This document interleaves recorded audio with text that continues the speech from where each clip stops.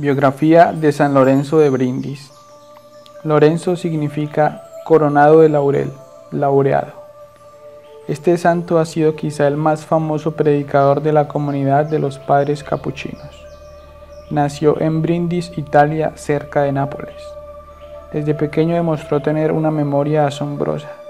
Dicen que a los ocho años repitió desde el púlpito de la catedral un sermón escuchado a un famoso predicador con gran admiración de la gente. Una condición suficiente. Cuando pidió ser admitido como religioso en los padres capuchinos, el superior le advirtió que le iba a ser muy difícil soportar aquella vida tan dura y tan austera. El joven le preguntó, Padre, ¿en mi celda habrá un crucifijo?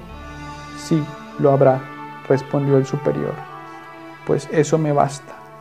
Al mirar a Cristo crucificado tendré fuerzas para sufrir por amor a Él cualquier padecimiento.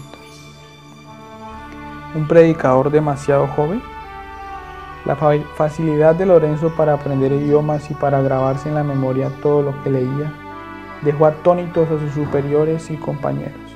Prácticamente se aprendía de memoria capítulos enteros de la Santa Biblia y muchas páginas más de libros piadosos. Hablaba seis idiomas, griego, hebreo, latín, francés, alemán e italiano. Y su capacidad para predicar era tan excepcional que siendo un simple seminarista, le fue encomendado predicar los 40 días de cuaresma en la Catedral de Venecia por dos años seguidos. Las gentes vibraban de emoción al oír sus sermones y muchos se convertían. Un secreto. Un sacerdote le preguntó, Fray Lorenzo, ¿a qué se debe su facilidad para predicar? ¿A su formidable memoria? Y él respondió, en buena parte se debe a mi buena memoria, en otra buena parte a que dedico muchas horas a prepararme. Pero la causa principal es que encomiendo mucho a Dios mis predicaciones y cuando empiezo a predicar se me olvida todo el plan que tenía y empiezo a hablar como si me estuviera leyendo un libro misterioso venido del cielo. Superior y predicador. Los capuchinos nombraron a Fray Lorenzo superior del convento y luego superior de Italia. Más tarde, al constatar las grandes cualidades que tenía para gobernar, lo nombraron superior general de toda su comunidad en el mundo. En sus años de superiorato recorrió muchos países visitando los conventos de sus religiosos para animarlos a ser mejores y a trabajar mucho por el reino de Cristo. Había días que caminaba a pie 50 kilómetros. No le asustaba desgastarse en su salud con tal de conseguir la salvación de las almas y la extensión del reino de Dios. La gente lo amaba porque era sumamente comprensivo y bondadoso y porque sus consejos hacían un gran bien. Siendo superior, sin embargo, servía a la mesa a los demás y lavaba los platos de todos. Ganador de batallas. El Santo Padre, el Papa, lo envió a Checoslovaquia y Alemania a tratar de extender la religión católica en esos países. Se fue con un buen grupo de capuchinos y empezó a predicar pero por esos días un ejército de 60.000 turcos mahometanos invadió el país con el fin de destruir la religión. Y el jefe de la nación pidió al padre Lorenzo que se fuera con los capuchinos a entusiasmar a los 18.000 católicos que salían a defender la patria y la religión.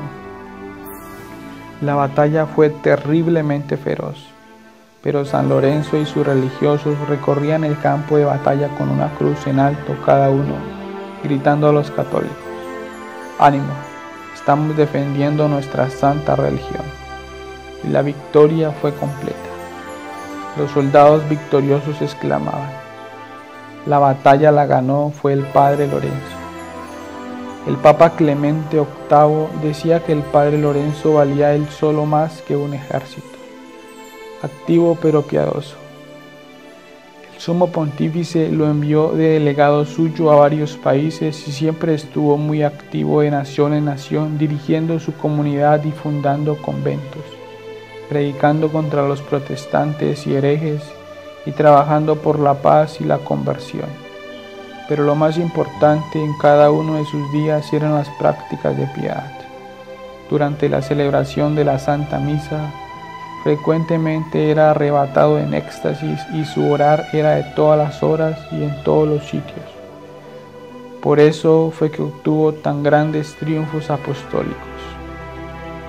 Dormía sobre duras tablas, se levantaba por la noche a rezar los salmos, ayunaba, su alimento era casi siempre pan y verduras. Huía de recibir honores y se esforzaba por mantenerse siempre alegre y de buen genio con todos. La gente lo admiraba como un gran santo. Su meditación preferida era acerca de la pasión y muerte de Jesucristo.